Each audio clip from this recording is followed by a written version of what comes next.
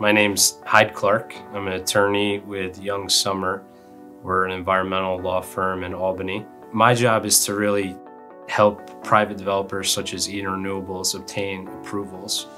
And that involves going to a lot of local board meetings, so planning board and zoning boards and town boards. And I think the, my favorite part of the job is to actually work with these small communities because I grew up in a small community and, and understand their concerns and can also try to, based on understanding their concerns, be able to push our projects forward and, and actually have them constructed.